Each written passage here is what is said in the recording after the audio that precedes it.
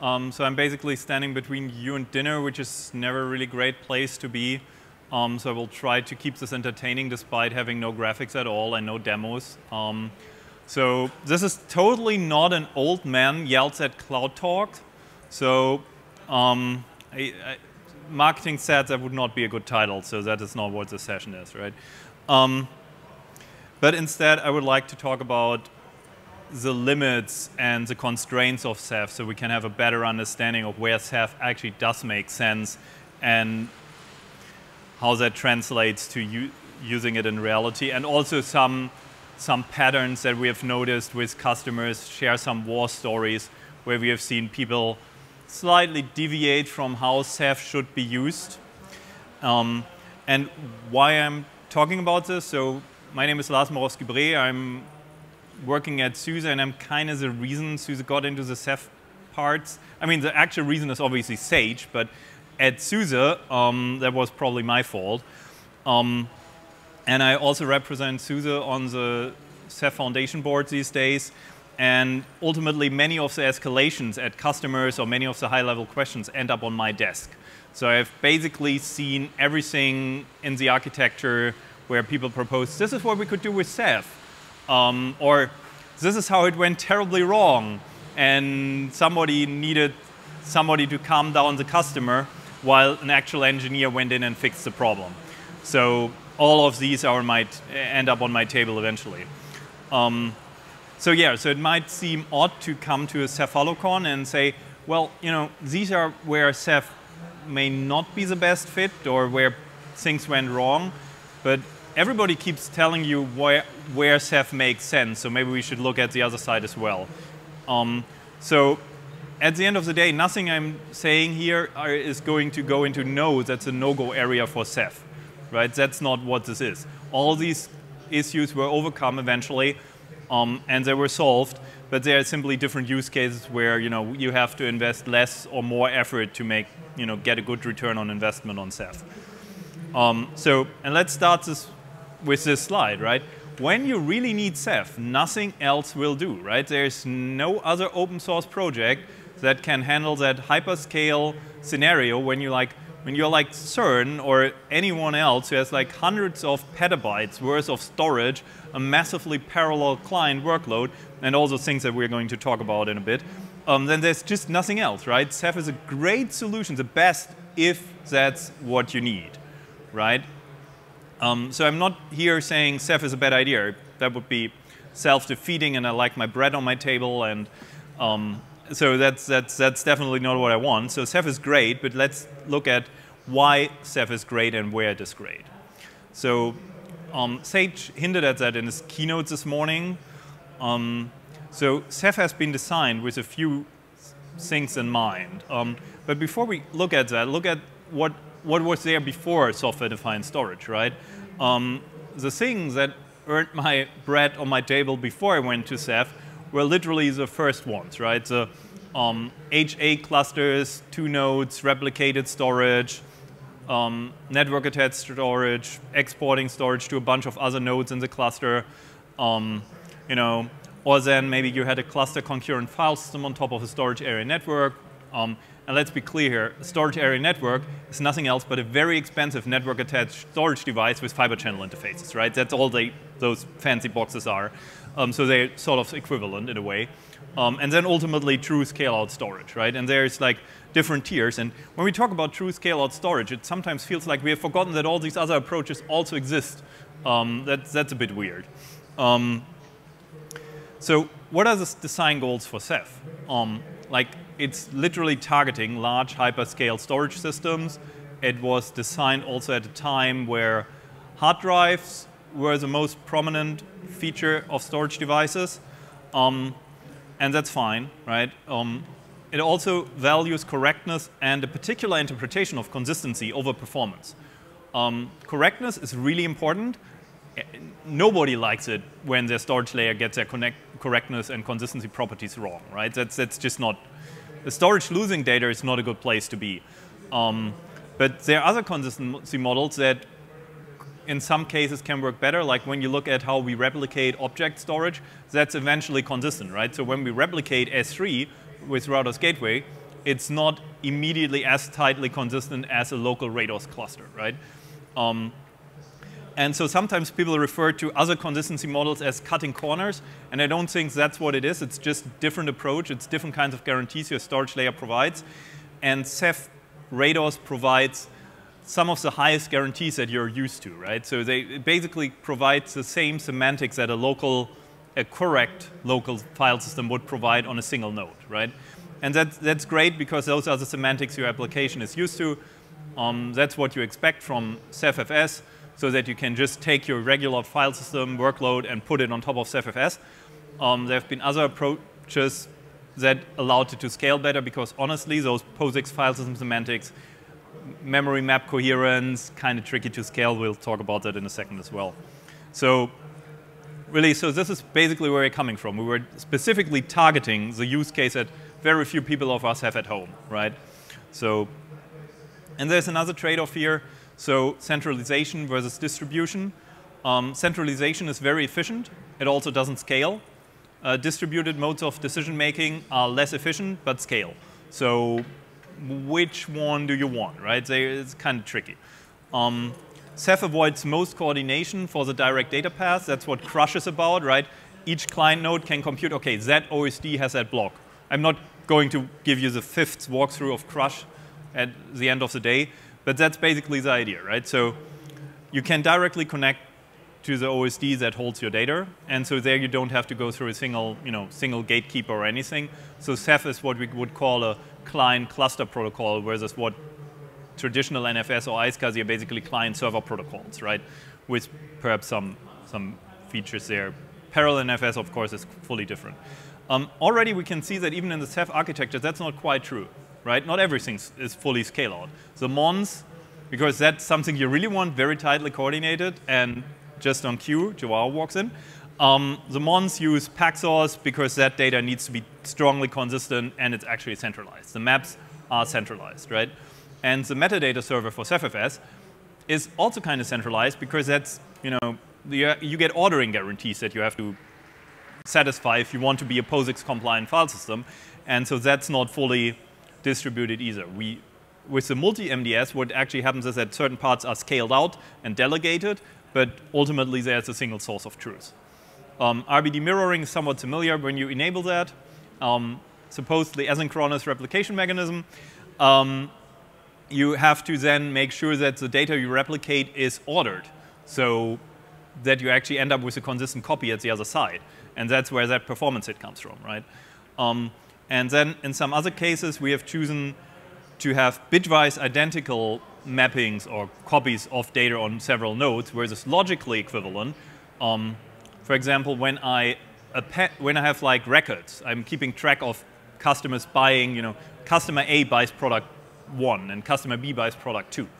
Um, those two transactions, at the end of the day, it doesn't matter in which order I save them, right? But if you save them to a file or a Rados object, you have to have that in the same order. If you had a different model like Confluence or so on, you could actually reorder the transactions without having to coordinate the exact bit layout on disk. So again, that's a trade-off that Ceph makes that impacts how fast we can scale. If you had different append, append semantics, you could just keep, okay, there's a new transaction appended to that log. And you wouldn't have to, you know, make sure that they're all bitwise identical. Um, and that's why a local system like NFS and NFS server, where everything goes through that one gateway, can, or local node mounting a local file system, they have all this data memory. They don't need to coordinate with anyone else, right? They're perfectly omniscient about what's going on with all other clients because they are all other clients. And NFS gets away with that by not actually being POSIX compliant in full, right? They, they cut corners. They, they claim one thing and then deliver another that sometimes is a bit tricky. But we've all gotten so used to NFS being broken that it just works in practice. Um, it, it's true. I can't help it. Um, so, and that's also where it comes from when we look at, you know, customers go, well, my system is freezing when an error happens and recovery is slow. Well, yeah. Um, Ceph, you know, you have by default, all copies, even with replicas, erasure coding doesn't matter, all copies are on other nodes, right? They all go through that slow, relatively slow network interface, right? And locally, when I pull a hard drive, the controller tells me your hard drive is gone. when an OSD goes down, mm, it's not answering. Is it coming back? I don't know. Let's wait another second. So you have in distributed system, Ceph is not alone in this, right? Every distributed system has this. Pacemaker had the same problem. We have to wait until we can declare a node down, and then we have to reach consensus about that node being down, and then we have to do recovery, maybe fence it, depending on what kind of guarantees you're satisfying. So you pull a drive and or node, and you you know your I/O stops for a second or two, or depending on however long. So distributed systems and real time are not perfectly compatible under all circumstances. Um, so there are different, you know, different use cases. And about that network, traffic, when you look at erasure coding, we have one model that's called locally redundant codes, local redundant erasure codes, yeah, the LRC plugin, um, where you can keep additional state, say within a rack, to make sure that you don't have to cross traffic across your top of rack infrastructure to minimize the network impact of recovery when you scale right? Um, so we actually have had, have, I don't know, let's pretend I don't know, um, one customer who looked at those two things and went like, okay, I'm going to run with replica size 2, but with local RAID underneath the OSD to protect against you know, the outage from a drive failing and keep all recovery of a single drive failure local to a node. I'm like, I was like, ah, but I could kind of see their point because that's what made that use case work, right? And that's an area where maybe we need to look at that in some more detail because with Ceph volume, we could just like make it all one big, well, and if the OSD actually scaled well, we wouldn't actually need to have so many different threads, so we'll see. But you know, this is something that actually matters in practice, right? So takeaway, recovery is slow because you have to go through that very slow path. If that's all behind an HBA with 12 gigabyte, uh, gigabit networking on SAS dedicated to those drives, it's actually quite fast. Ceph recovers slower by design because it's recovering across nodes, right? Um, and a local, the, that node pair has the same problem. If the entire node goes down, then you have the familiar problem, right? Um, and then there's another design choice that sometimes come up when people compare us against other storage solutions out there. Ceph replicates and recovers on the backend, right? Especially the front-end replication. So the client only ever talks to the primary OSD. Um, some other solutions do this in the front end. The client actually talks to multiple copies of the data. Um, it's very difficult to determine which one is the better solution because they have very different tr trade-offs. Like in our case, it means we get to use different, we get to use a beefier backend network that's dedicated to all this, so it helps with throughput if you have proper sizing. Um, however, if you have a single threaded workload, um, the other uh, uh, with a single client, that client can load balance and get possibly better performance. Um, it all evens out when the network gets saturated because then you're well saturating your network and you know all clients sort of get the same. But you know again different trade-offs, right? So if you're comparing against a solution like that, then keep in mind that this is why Ceph does it. This simplifies it because Ceph, the primary OSD, knows that it has a good copy of the data, right? So this is another side effect of the consistency models. Um, yeah, and then a lot of the algorithms in Ceph are based on the assumption that everything balances out at scale, right? Especially if you look at how Crush distributes data across the drives. Um, the data placement is pseudo-random, which is awesome because you know the client doesn't have to ask a server where the data is, can just run the same algorithm and be pointed as the right server. Um, but when you have few nodes, uh, yeah, um, or few drives, then pseudo-random isn't always perfectly balanced, especially when you then have large objects. Um, so at one point, this all relies on the idea that our higher level objects and workloads are actually striped at the Rados level, right?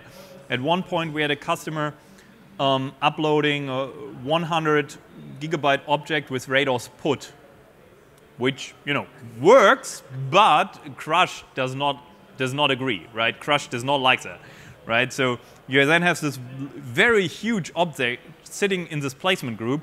It takes forever to replicate your data distribution is all wrong, right? So that's, yeah, so we, that's quite easy to fix, but it's again, it's a different assumption. and not all data patterns like this, when you have very large low-level objects, they don't balance perfectly. And there's some use cases with Rados clones and snapshots that possibly also don't balance perfectly because they sort of go to the same placement group that we're currently investigating. And in general, with all of the issues about placement uh, groups, there, Josh talks this morning was actually pretty great. I'm not going to repeat everything here. Go listen to the recording if you haven't been in there. There's a lot of work happening here with, um, with both the PG auto-scaling and the um, balancer that makes this better, but especially when you have small environments, it can still be a problem. Which brings us basically to, to how people start with trying Ceph, right? Well, I did a four-node POC, and Ceph underperformed. And you know, because I, I just was trying it with my Windows clients, and uh, you know, and yeah, that's that's not the best use case for Ceph, right? It works, all the functions are there, but you get basically none of the benefits, right? Um, you have, your workload will typically have low concurrency. You have few storage devices, especially if you have hard drives that you grab from somewhere because it's a POC, a proof of concept implementation.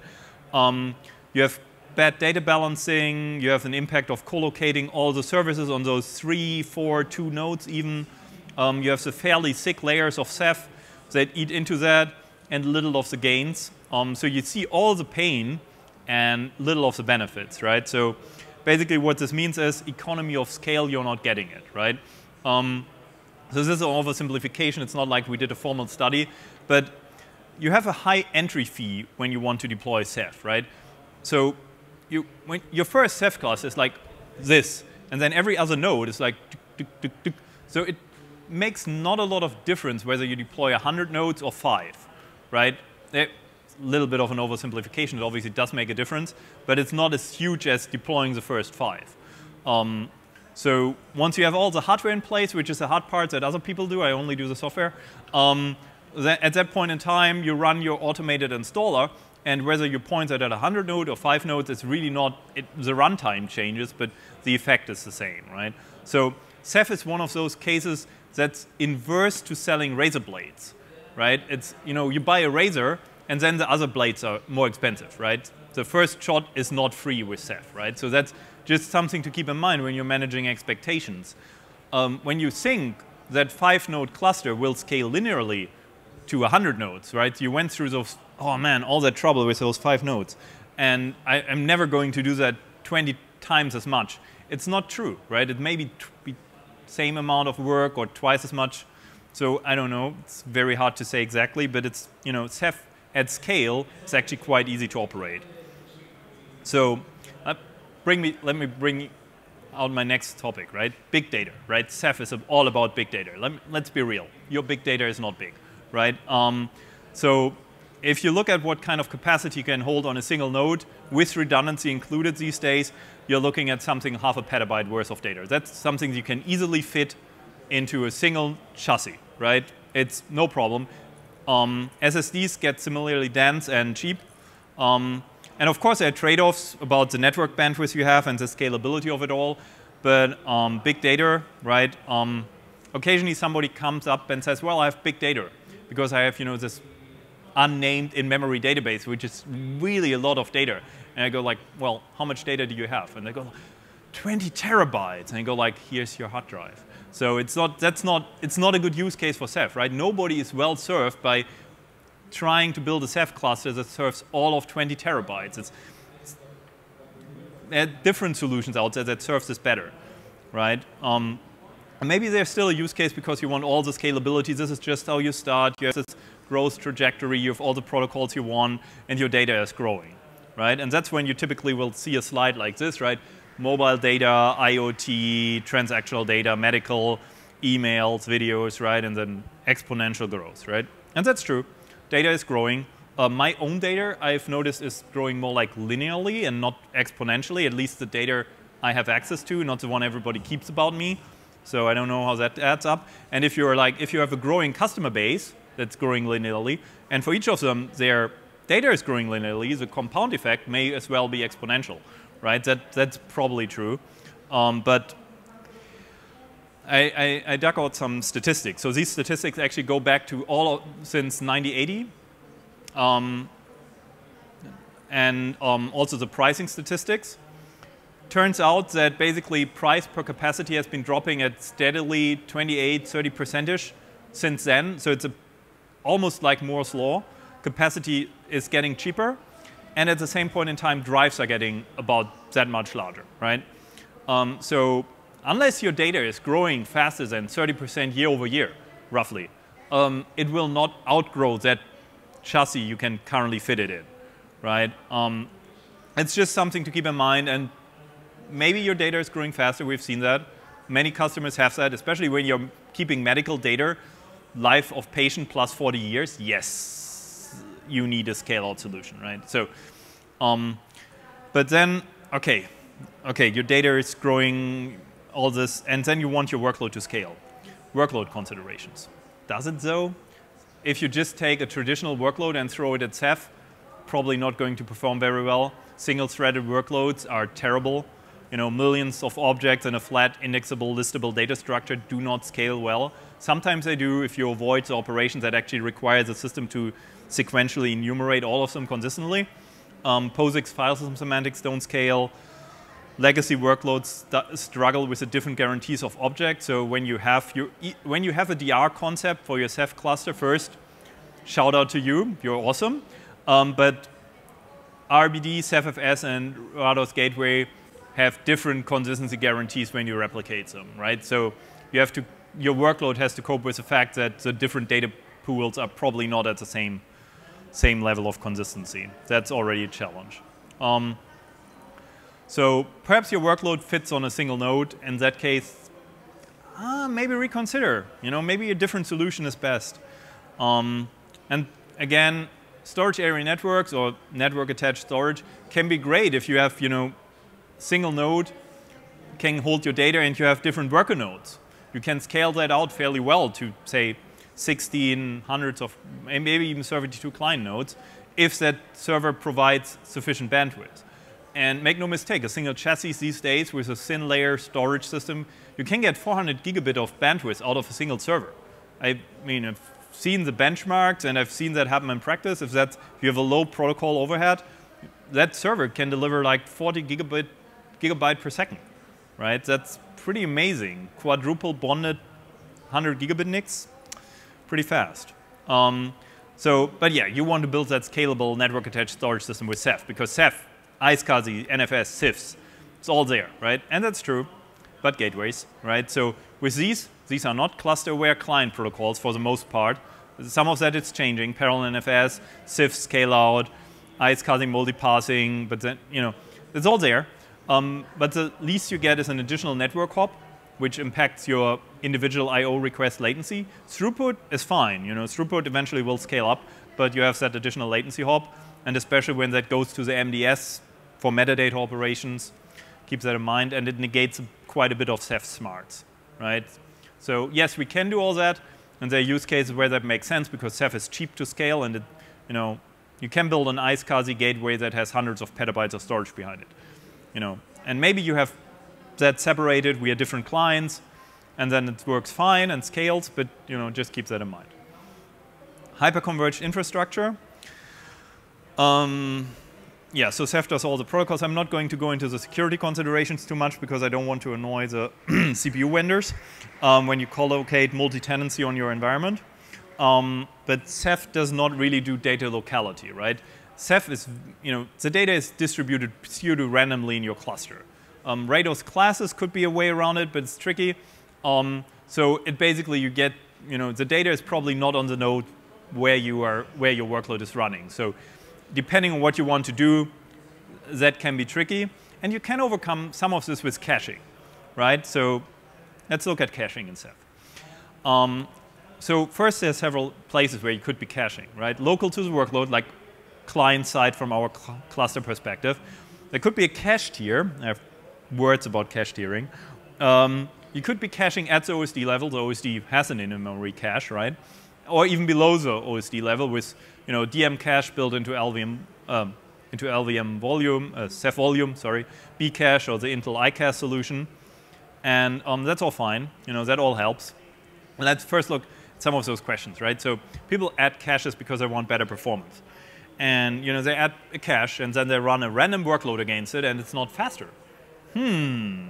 Well, yeah, because you're not actually accessing any data twice. You know, it. You know, you're not getting any read benefit from that, and not even overrides don't get combined because you're only hitting each block once. Um, also, inverse, I benchmarked everything. It was great, but my actual workload eventually everything slowed down and your caching is broken. And I'm like, no, you overflew, overflowed the cache. It's like initially everything was fine because you stayed within the working set, stayed in the cache, right? And then eventually you regress to filling, you know, flushing the cache. Um, yeah. So those are all variations of basically benchmarking caches wrong because eventually they will fill up an overflow um, and initially they're empty, and then writes are fast if you have a write back cache, and reads are just as fast as before. Um, and eventually, when you keep throwing random data at your cache, um, writing eventually will slow down because it has to flush. And at that point, you have both data coming in and data being pulled out. Cache eviction is one of the three hardware problems in computer science. So eventually, there's some overhead. So at best, at that point, it wouldn't slow you down, but in reality, it will a little. Um, and when you read only once, caching also doesn't provide a huge advantage on, on read patterns, unless your workload fits into the cache for which you have to appropriately size. And write caches provide a huge benefit for bursty workloads, but not so much for sustained, you know, max throughput. Um, and let's, let's now get quickly off on the tangent on cache tiering. Um, because cache tiering is actually useful if that's what you need. Um, it does not magically make your cluster go faster. Um, because first, the objects are actively physically migrated from one tier to the other, right? Um, they're migrated over the network to the cache tier and eventually back.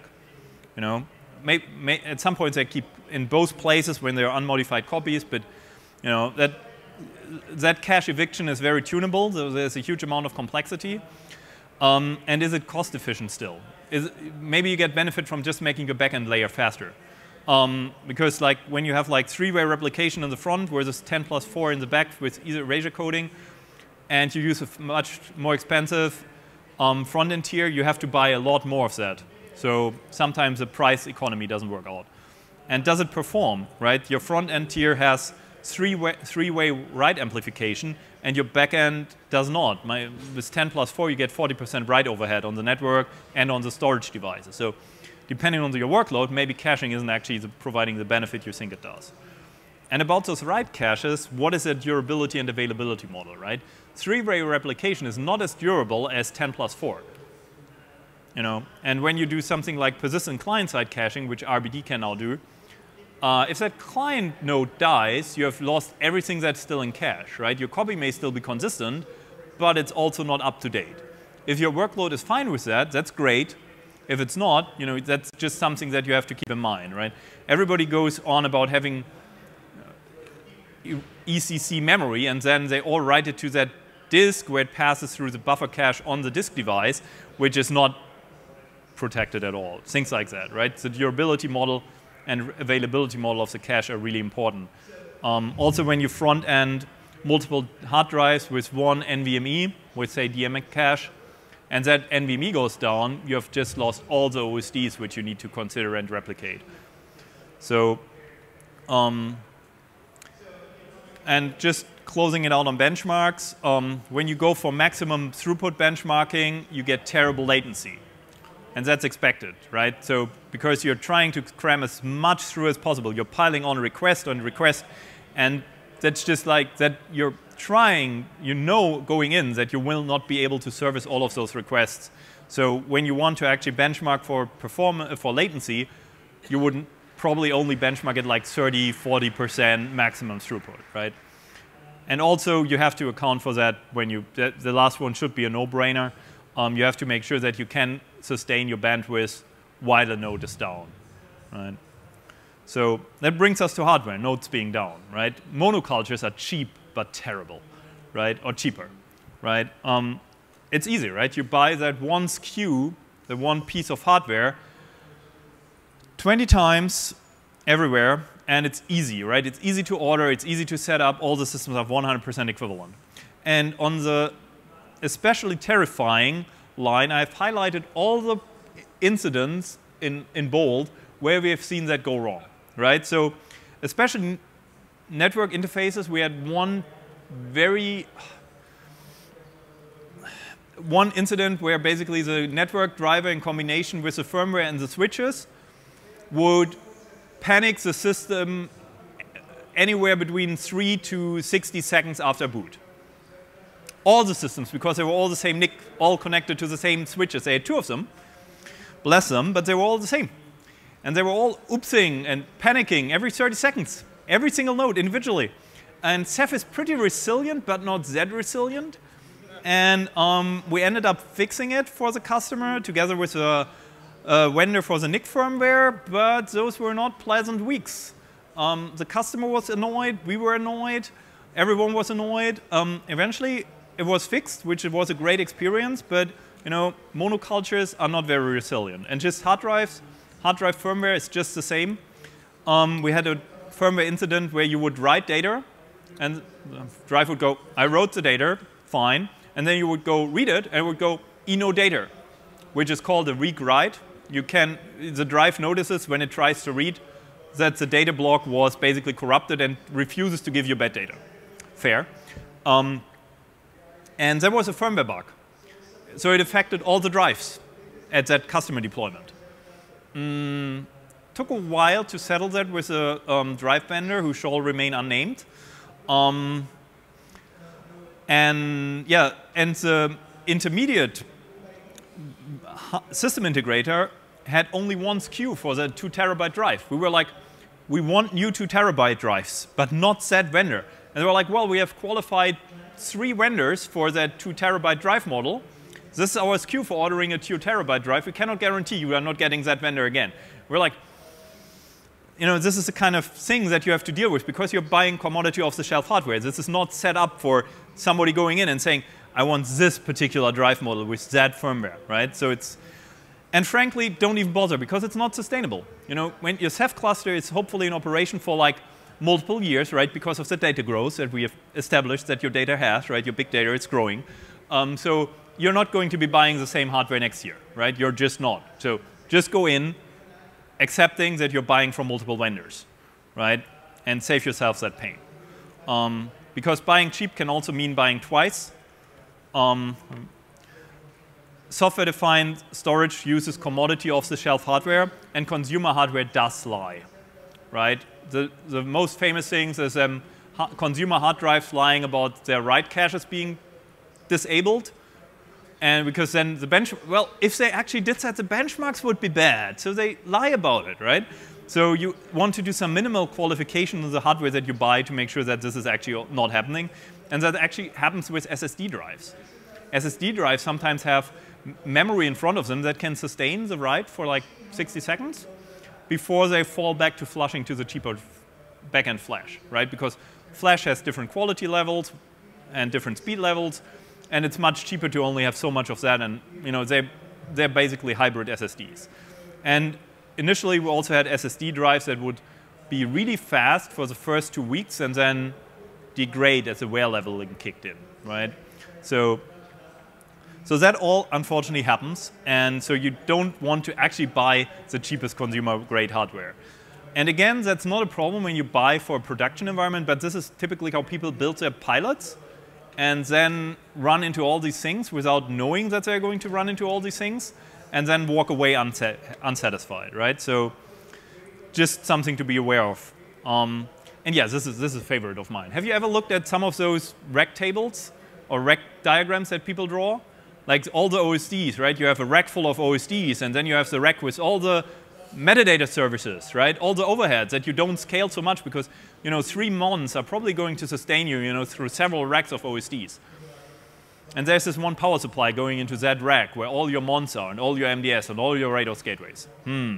So, but otherwise the racks would be different. We like our racks to be the same, right? All the racks should be identical ah, no, they shouldn't. Um, you know, or maybe have have a, have a mon in one and a Rados gateway in the next, and alternate between that. You know, maybe you can do something like that. But if you have, yeah, let, I, I thought about actually drawing a picture here, but it's hopefully not necessary. It's a, just a bad idea if you correlate your failure domains like that. Um, in general, um, ignore the throughput you get from Ceph because throughput is easy to get, or total IOPS. You can just buy more hardware. You can all just just add more nodes, add more storage devices, right? Um, that's easy. That's easy to scale. We can scale that really well. What you will not easily be able to scale is latency, unless we get Crimson to you and latency goes down magically. Um, so people buy 40 gigabit because it's faster than 25. True, but you know the latency, the signaling rate is lower on 40 gigabit than on 25 gigabit. Um, so I don't think anyone should be buying that anymore. Everybody should be buying 25 or 50 gigabits these days. Um, sometimes people disagree. Um, but it's just because the latency is the one thing that's really hard to fix because that's basically static. Um, and then people compare a local SSD performance to the one that they get out of the distributed system and notice that it's much slower. Yeah, because you have to go through the network multiple times. Right, again, so focus on the latency. That's really, that's the one thing that's really hard to fix. Um, and also per node pricing, right? Uh, I'm going to get short. Um, so per node pricing is hard because it encourages the idea that you should have fewer bigger nodes. You shouldn't, right? You, you should have, you know, reasonable nodes, but you should not make them, you know, you should not have like a petabyte of capacity on one node. Just split it, right? Talk to your vendor about discounts. Um, because that also means so you have more bandwidth per storage device, you have less impact on outages, you're losing less of your capacity. And remember, every spindle you lose is part of the bandwidth that you're losing. And it's also less bandwidth you have to, or oh, less capacity you have to recover if that node really does not come back. Right? If a one petabyte node goes down, you have to recover that, right? So make sure that not a single failure is a significant part of your availability. Um, and it's also cheaper to scale. You can scale, scale in smaller increments, right? That's also quite useful. Buying another of those petabyte nodes is probably quite expensive. Buying a 200 terabyte node is much less so, right? Um, and at the other end of the scale, when I say lightweight nodes, I don't mean flimsy, okay? So sometimes people want to absolutely use Ceph, and they have big data. So, and they go, this, this happened right? Um, well, we are now using one terabyte hard drives and two of them, one or two of them per node, um, so we can meet the minimum requirement for failure domains. And like, uh, here's a bigger hard drive. Um, so because that, that does not give you economy of scale. This is not cost efficient. Unless you do this because you have this hyper-converged environment where you just put that into the slot, where it makes sense, that's fine. Um, and you have that drive bay anyway, so use it um, that's fine, but don't do this if you're explicitly building a Ceph cluster, right? Um, unless you, your demo, that's what we do with our Raspberry Pi at the booth, and that's fine, it's great for demo, right? And um, here, my Joao quote, um, sometimes people run Ceph on public cloud, um, because sometimes the pricing model from the public cloud vendors for long-term storage or persistent cluster-wide storage is strange, and it's actually cheaper to buy three times as much ephemeral storage attached to your instance than it is to buy their distributed storage service, which is basically performing arbitrage on their pricing model. Um, and this works. It can be great. It's all what we all do for testing, and after all. But from a performance point of view, this is pretty terrible because you don't have the transparency into what's actually going on, right? You don't know what the hypervisors are doing, where your network traffic is going. I, it's, it's just I've had to support this. We made it work. It was a fun experience. I learned a lot. Um, just think about whether it's really what you want to do. Um, so almost on time, closing out. Um, again, going back to this, right? So when you have that workload that you need, Ceph is the one thing that can do that, right? There's nothing else that can. Um, but there are other solutions out there that can do other things well right? And we are taking Ceph to close that gap, but depending on the time of day and which year it is, you know, the trade-offs may not swing always towards Ceph. Um, we hope that you have that hyperscale use case with you know that exponential data growth because that is lovely. Like I said, I like bread, um, even if I bake it myself. Um, so, and this is probably what I would like to leave you with. So open source Ceph is infinitely flexible, right? You can do many, many things with it. It has all the knobs. Um, you can make all the choices. You can adapt it to your environment. The downside is you have to make all the choices. Somebody has to make all those choices for you, right? So plan for learning when you deploy a system. Plan to adjust what you're doing. And remember that there's no such thing as a free lunch, or in this case, a free dinner, right? So nothing is free, and that's it. So if you want to know more, come talk to us, come reach to us. This is me. Thank you for your time, and have a lovely evening.